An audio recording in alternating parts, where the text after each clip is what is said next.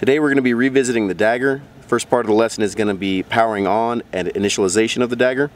So the first thing you can do is hold the power button. Rockwell Collins pops up. Get some warnings. Battery self-test. DAGR may not be keyed. Press both arrows to clear that out. Power batteries are getting low. Memory batteries getting low. Clear out all those tracks. Currently we're tracking for signals from satellites. It's acquiring signals. While it's doing that. We're going to go into the menu, select op mode, going to go up to continuous, and that is done. Now we're going to go to a few more settings, menu, menu again, receiver setup, we're going to go down to power saver, and then the auto off mode, select that, turn that to off. Auto standby mode, go ahead and select that, turn that to off. Now if we hold the present position page, that'll give us our present position. It's currently not flashing, so we have satellite signal. Uh, and now, the last part of this is that if you want to go ahead and clear out all the data from the DAGR, just hold the zeroize buttons, the power button, and the present position page at the same time. Activate emergency zeroize, press enter to confirm. Zeroize in progress. Emergency zeroize passed. That means that all the data that was in here has been cleared out. Use that in case it's going to fall into enemy hands or you're about to be captured. so just to double check, if I go to my menu, select op mode, that's back to standby. It hasn't been changed over to continuous because it's been Z'd out. Alright, to power off the DAGR, just hold the power button. Power down in 30 seconds. Press enter for quick off, and it's off. Alright, now for the second part of the lesson, we're going to get into entering waypoints. Uh, for speed purposes, I've already set up and initialized the DAGR. We have our present position located. So now we're going to go to menu. Menu again for main menu. Go to waypoints, routes, and alerts waypoints. None are entered, so we're going to enter one. Go to 001, select name, waypoint 001. That works for me.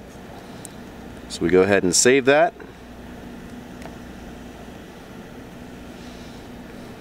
Change the grid location. Change this to 32 uniform. Quebec Alpha 109 oh eight oh nine oh four two. And then we're going to hit enter. Now to go back, we're going to hit the power quit button. It says save waypoint, enter to save, waypoint stored, enter to acknowledge. Go down, Alright, 002. Waypoint 002 works for me. I'm going to go ahead and change this to 32 Uniform Quebec Alpha 10915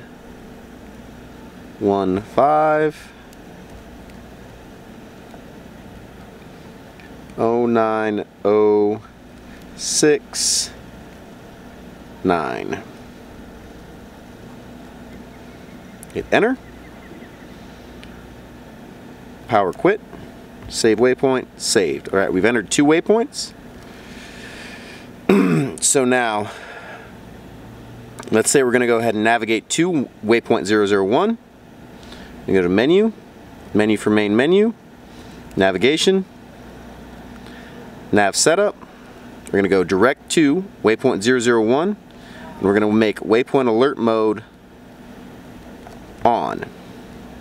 So now as I approach this waypoint, it'll give me an alert that says when I've come up on the, uh, up on the waypoint.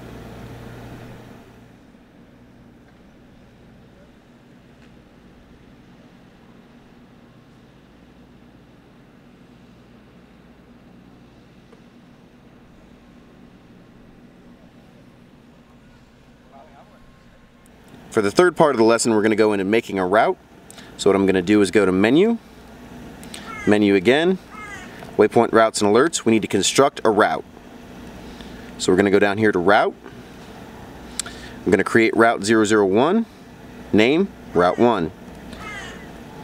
Alert radius, when we become within 5 meters of one of the points on route on Route 1, it'll let us know via uh, a, a message on the screen itself. So if we're going in a, foot patrol, we want to make this a small number so we're right up on our waypoints. And if you're in a vehicle, you might be a few meters off. The road, road size might dictate the size of the waypoint that you're going through, so you can adjust this accordingly. So you can make this maybe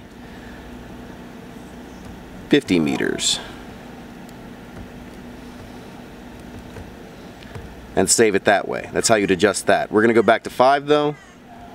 So take this down to 0, 2, 3, 4, 5, and enter. All right, so the first waypoint is our current position. Next part of the waypoint, we're going to select waypoint 1. Next part of the waypoint, we're going to select waypoint 2. That's our route. It's already built. So now we're going to hit power quit, save route, yes, enter to save. Route stored. All right, now to navigate the route, we're going to go to menu, menu again, navigation, nav setup. Instead of going direct to a waypoint, we're going to go via route to route 1, starting with leg 0, direction forward, to waypoint 1, route 1, leg 0, Ah. So here we have the waypoint alert. We're going to change this over to manual. So now when we come up on, on waypoint 1 in route 1, it's going to give us a press enter to continue on leg 2. So we'll hit the first leg, hit enter, continue down the second leg. Alright, so that's how to build a route. Present position page. Go position position again, and this is route to waypoint 001. The final part of the lesson, what we're going to do is use the alert section to make an alert for a specific known point, and then we are going to make a phase line alert. So, to do the phase line, we'll start with that. Go to a menu, menu again, Waypoints, routes, alerts. Go down to alerts. And we're going to take alert number one. We're going to call this phase line PL P L Wolf.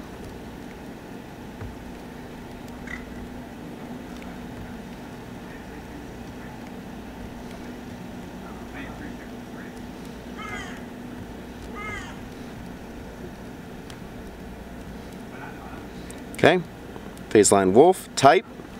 We're gonna make this a, go down, phase line. It's gonna be disabled to start, and alert status is not gonna be valid. We have to enter waypoint one as the start point of phase line wolf, enter waypoint two as the end line of waypoint two of phase line wolf. So when you're creating a phase line in the battlefield, you'll need to know the start point and the end point to be able to make it into a phase line on the DAGR. All right, now that we've entered the waypoints, we can go up here, mode, enabled, and now if we cross this, this imaginary phase line, it'll give us an alert that we're crossing phase line wolf.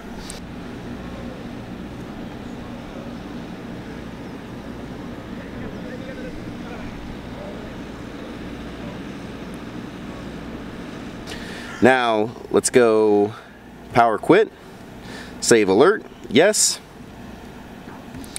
Now we're going to go down here. Let's say we have an IED where we have a known point that we need to avoid. So this type is going to be a hazard. Mode is going to be disabled and alert status not valid. We want to go, if it's an IED, let's say 200 meters. Two, 205 meters sounds good. Enter. center waypoint. Let's use one of these previous waypoints. And now we can go up again. Type hazard, mode, enabled. As soon as we come close to that, it'll give us an alert that we're entering a hazardous area. So then we'll power quit, save alert, hazard entered, alert stored. So we're close enough on the grid coordinates to our test area that we've actually entered the hazard area and it gave us an alert on that already. So present position page. All right, and then the final final key to this is if you're driving along, navigating with the DAGR and you have a point of interest that you want to save, there's a quick save button using the F1 function. You can mark a waypoint. So just hold F1 what pops up is mark present position. So if we're driving along and we see a, position that we want to place at, you can go ahead and hold F1, mark it for a previous as a reference point. So now we hit enter to store waypoint. Waypoint stored. Now if we go to menu, menu again, waypoints, routes, alerts, go up to waypoints. We have the two previous ones that we've entered and the mark 003 that we just marked with the F1 function. That's a little bit of bonus material for uh, this training purpose.